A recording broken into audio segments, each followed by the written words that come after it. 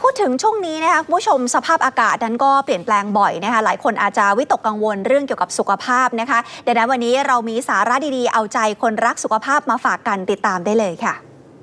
ในช่วงสถานการณ์โควิด -19 เช่นนี้ทำให้หลายคนหันมาใส่ใจดูแลสุขภาพมากขึ้น ไม่ว่าจะเป็นด้านการใช้ชีวิตความเป็นอยู่ หรือแม้กระทั่งด้านอาหารการกินที่ถูกสุขลักษณะ ซึ่งจะเป็นภูมิต้านทานที่ดี ในการป้องกันโรคภัยต่างๆ จากข้อมูลด้านสุขภาพ ปลาทูน่าจากทะเลน้ำลึกนับว่าเป็นสัตว์ทะเลที่มีคุณประโยชน์ทางโภชนาการสูง โดยบริษัทไทยยูเนียน ซึ่งได้รับฉายาว่า ราชาทูน่าโลก มีศูนย์นวัตกรรมเพื่อคิดค้นและพัฒนา ผลิตภัณฑ์เพื่อสุขภาพ ภายใต้แบรนด์ซีวิต้าซึ่งมีทั้งผลิตภัณฑ์น้ำมันปลาทูน่าสกัดเย็น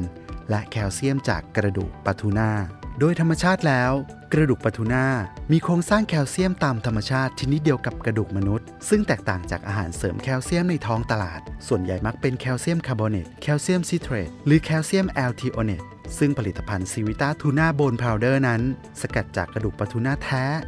100%โดยขั้นตอนการผลิตที่ได้รับสิทธิบัตร และเทคโนโลยีการสกัดและบดละเอียดทำให้ได้อนุภาคระดับไมครอนที่มีขนาดเล็กมาก เรียกว่า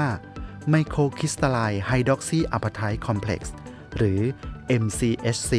ทำให้แตกตัวได้ดี ซึ่งประกอบไปด้วย แร่ธาตุที่สำคัญอื่นๆ เช่น ฟอสฟอรัส คอลลาเจนจากปลาทะเล และแคลเซียม และปลาทูน่า เป็นปลาทะเลน้ำลึกตามธรรมชาติ ที่มีปริมาณ DHA สูงกว่าปลาชนิดอื่น ๆ โดยเฉพาะในส่วนหัวและตาของปลาทูน่า ซึ่งมีปริมาณ DHA สูงมากเมื่อเทียบกับปลาชนิดอื่น ๆ ซิวิต้าแบรนด์จึงเลือกใช้ส่วนหัวปลา และตาปลาทูน่าที่สดใหม่ ผ่านวิธีการสกัดแบบอุณหภูมิต่ำ เพื่อให้คงคุณภาพของสารอาหารให้ได้มากที่สุด จึงทำให้ได้น้ำมันปลาทูน่าที่มีสีอ่อนกว่าน้ำมันปลาทั่วไป